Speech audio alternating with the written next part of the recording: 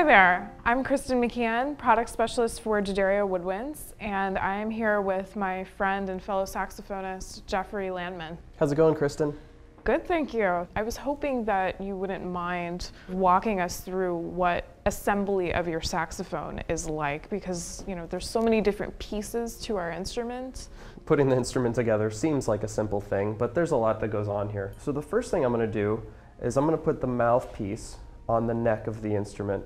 The reason I start there is because I want to make sure that I put the, the mouthpiece on the neck without bending the neck. It's possible to do that if you put the neck in the instrument first. So to start with, I'm going to take some cork grease. This is D'Addario all natural cork grease. Put it on the neck cork here. Just rub that in a little bit. And then holding the neck up here so we don't bend it, we're going to put the mouthpiece on. And basically how far in on the neck dictates the intonation of it. So the farther in, the sharper you will play. The farther out, the flatter you will play. How do you know what's in tune? From experience of playing your instrument and your setup with other musicians, with a tuner, you get an idea of where the mouthpiece should be to get you in that range of being in tune. Obviously, once I start playing, I'll make some more adjustments. Okay. So once my mouthpiece is on the neck, then I'm ready to put the reed on the mouthpiece. So first, I'm going to put the ligature on. That's what holds the reed. Then, I'm going to grab a reed here.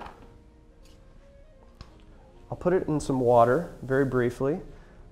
The water helps the reed to vibrate. That's of course what makes the sound for our woodwind instrument. Once it's just a little bit wet, we'll take it, get rid of the excess moisture, and put it on the table of the mouthpiece. Now it's important the tip of the reed makes contact with the tip of the mouthpiece. I check that by sort of pushing the reed against the facing of the mouthpiece and making sure it's lined up. I noticed that you're doing that really, really gently. So I'm. I mean, millimeters, millimeters make a big difference here. So once I have it with the tip of the reed making contact with the tip of the mouthpiece and centered on the mouthpiece, I'm going to tighten the ligature. How much do you tighten your ligature? Not too tight, finger tight. It shouldn't be loose on there, but we don't want it to be so tight that it makes the reed vibrate less. So here we've got the whole reed, mouthpiece, ligature, and neck set up ready to go. At this point, I'm just going to take the neck and put it on my saxophone body. I'll check to make sure that the neck is basically straight and in line with the instrument. And at that point, I'm ready to play. Excellent. Well, thank you so much for walking us through your process, Jeff. I, I did learn some new things. Great.